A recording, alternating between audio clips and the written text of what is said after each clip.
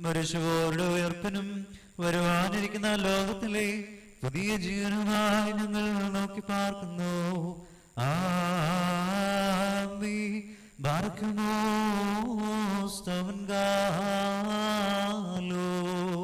കുറേലായിസോൻ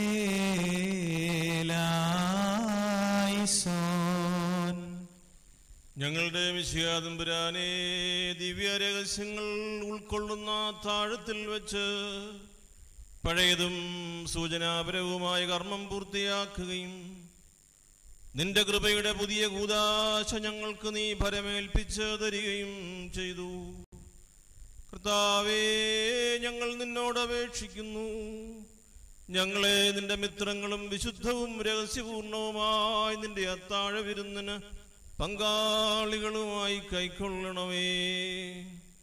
ശിക്ഷാവിധിക്ക് അർഹരാകുവാനിടയാകാതെ വിശുദ്ധമായി നിന്റെ അത്താഴ വിരുന്ന് അനുഭവിക്കുന്നതിന് ഞങ്ങളെ യോഗ്യരാക്കണമേ.